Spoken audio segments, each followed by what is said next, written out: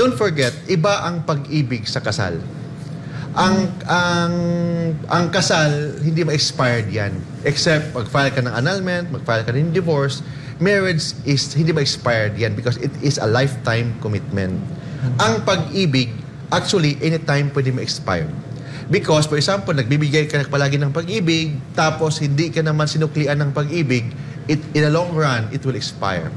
So maybe I don't know kung anong anong history ng buhay nila kasi bakit na fall out of love yung kanilang asawa. Maybe uh, may problema sila sa kanilang relationship. Ako po ay married. Ang tanong ko po, yung wife ko po ay nasa USA and as of this moment, ah, papunta na po dapat ako ng USA last September 1. Pero one week bago ang flight ko ay ah, pinigilan na niya ako makapunta sa USA. Biglang sinabi niya na na fall out of love siya sa akin at ni-reveal na siya pala ay isang lesbian. Attorney, napakasakit po ng pangyayari dahil sa dami po na, ah, ang dami ko na po na ni-let go dito sa Pinas, including ah, my 15-year-old na work sa bank. Kami po ay kasal at wala na pong, or wala pa pong anak. Ano po kaya ang pwede kong ikaso sa kanya? Halos mag-suicide na po ako dahil sa mga pangyayari. Wala, nama, ah, wala naman po kaming pinagawayan noong mga nakaraan. Kaya nagulat po ako sa mga pangyayari. Big reveal to sa kanya. Attorney, sana po matulungan niyo ako. Ano, ano yung tanong niya? Parang na-fall out of love. Bakit, Yung- bakit na-fall out of love yung isang tao? Yung asawa niya Di- kasi... Dito muna tayo sa fall out of love na yan. Oo. But for example, na na pagpunta niya sa kanya sa asawa niya doon sa ibang bansa tapos hindi na hindi siya pinapunta. So yun ang problema doon kasi ah, pag may iba ang kanyang asawa, may may diniborsyo siya tapos po, nagpakasal ng iba, nasaktan ang damdamin niya. Yun sinasabi ko, you can see- you can he, he can file a case for damages against against his wife. Yun yan. But hindi mo pwedeng pilitin ang asawa mo na mahalin ka uli. Don't forget, ang pag-ibig, walang walang authority or walang jurisdiction ng ating gobyerno na mag-file ng TRO or yung tinatawag na injunction para i-compelled, ikaw babae, i-compelled ka, pilitin ka na mahalin mo ang asawa mo uli. Walang ganun.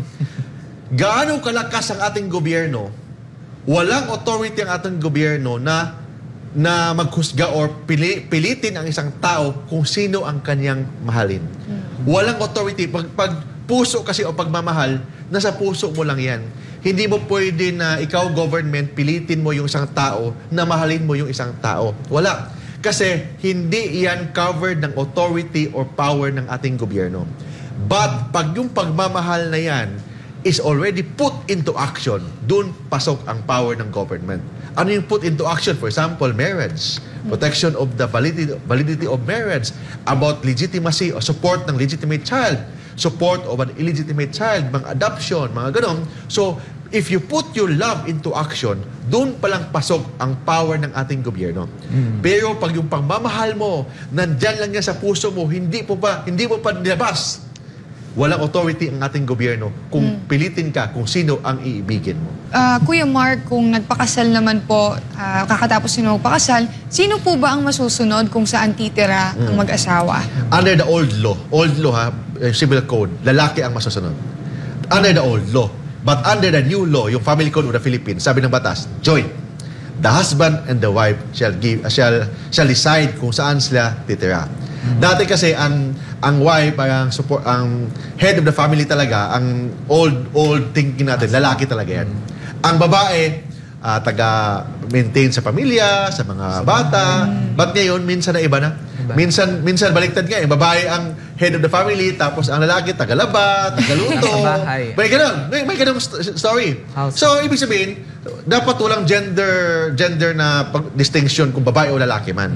Maasawa ka man, ma-husband ka man, ma-wife ka man, both you have the obligation to give support to one another. But sabi ng batas, to decide kung saan titira, mas maganda pag-usapan niya ng mag-asawa. Both the husband and the wife. Ibig sabihin, may say na si wife kung saan titira. But in practice, majority wife ang masusunod. Kasi the wife is the speaker of the house and the chief justice of the Supreme Court sa bahay. So yun yan. Ah? Kahit president yung ano, yung husband, yung speaker of the house at yung ah, supreme Supreme Court Justice, uh, Chief, uh, Commander-in-Chief of the Armed Forces ang asawa yun. Ah, pati finance secretary. Finance Secretary, tama?